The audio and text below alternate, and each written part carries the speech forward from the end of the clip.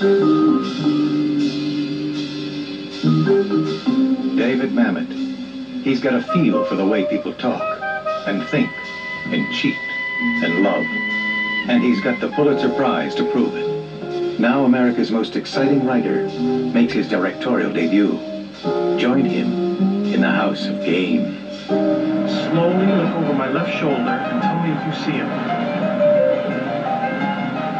Yes, he's just crossing the street. The Players.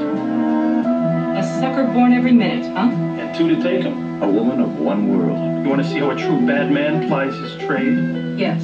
Seduced by the thrill of another. We're about to sting this guy. I'll do it with you, please. Discovering that danger is the ultimate high. What is life without adventure?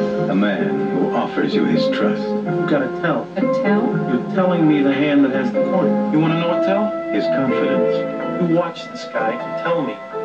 Does he play with his gold ring? And takes you Do you want to make love with me?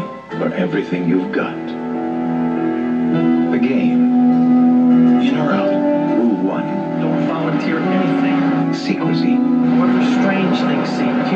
Keep your shut. Rule two. What is it you think I want? Control. Somebody to possess you, to take you into a new thing. Rule three. I don't understand how this works. Deception. You keep looking for the tell. Rule four. Police don't move. Survival. I've got to get out of here. Rule five. Ignore all other rules. We've lost $80,000 we borrowed from the mob. I should have turned around the first moment you brought the broad. In the House of Games, there's no one you can trust. Who brought the damn cop? Not even yourself.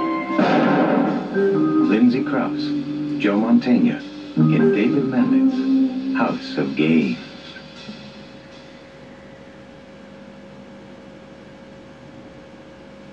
I'm the head of the organization that just recruited you. You call dumping me in the river and reshuffling my face recruitment?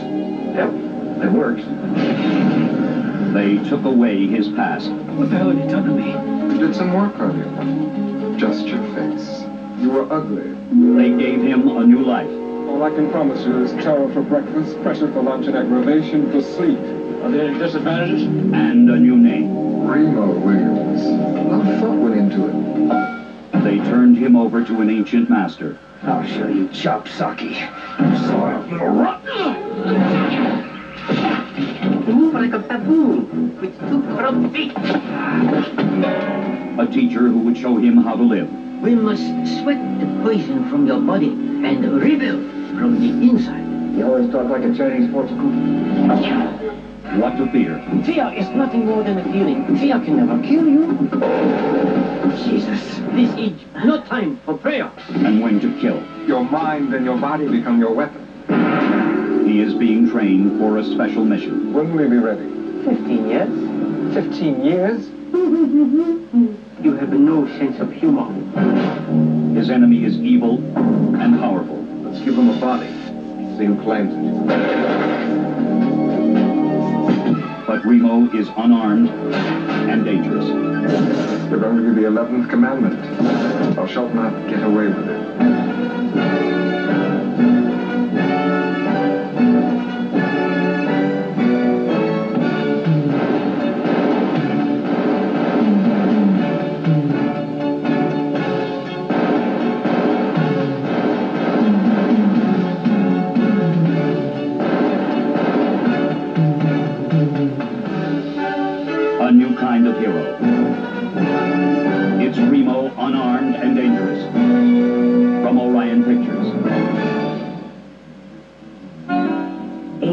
Charing Cross Road, London, England.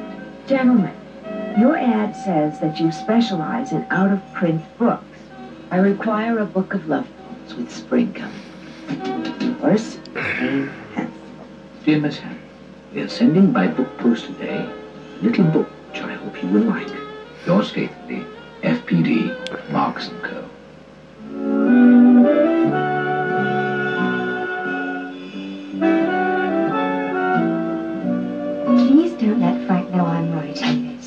you're curious about Frank, which you are, he's in his late 30s. Quite nice looking. Very nice, in fact. Cecily, Poor Frank.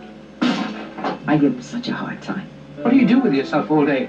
Sit in the back of the store and read. I keep trying to puncture that proper British reserve. Imagine a whole country says Frost. I'll probably walk in there one day without telling them who I am. Frank, he's still there. You're the only soul alive who understands me. Their love for words became a love for each other. 84 Charing Cross Road. Love, Frank. A true story based on a bestseller